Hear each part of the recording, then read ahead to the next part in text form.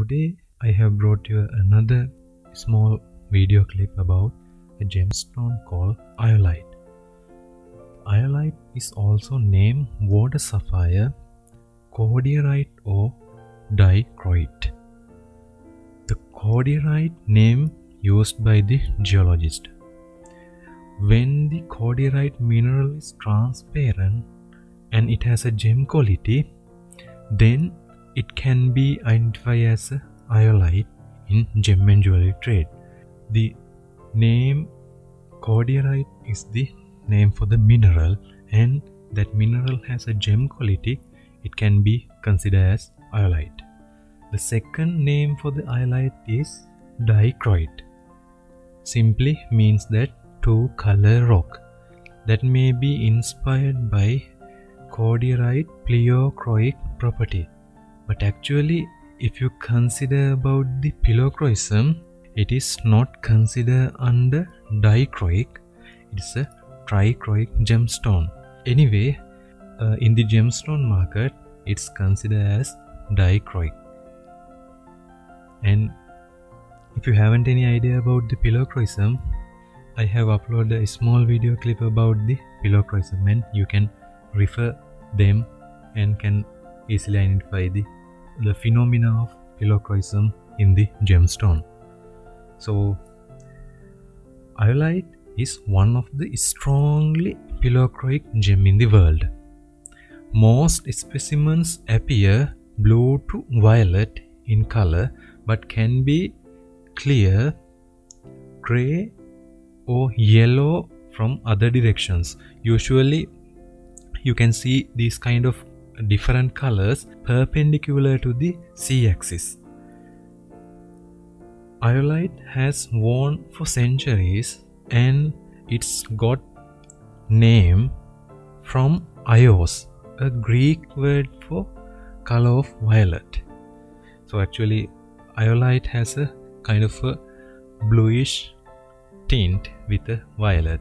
So because of that in the Greek people may have used that violet color word ios for the iolite. Apart from that, due to its strong pleochroism, ancient Vikings used iolite for navigation on cloudy days. Iolite is very affordable and durable and can be used as a substitute for most expensive blue color gemstone such as blue sapphire. So if I talk about the physical properties of iolite, it belongs to the silicate group with a chemical composition as I have mentioned in here. The color is blue to violet. Luster is vitreous or greasy. Diaphanity may be transparent to translucent. The cleavage may be fair or poor. It may have some cleavage planes or sometimes it is very difficult to see the cleavage planes but it has 7 to 7.5 in the Mohs hardness scale and the specific gravity may vary in between 2.5 to 2.8 and crystal system belongs to the orthorhombic. Iolite is one of the challenging material to facet because of its extreme pleochroism.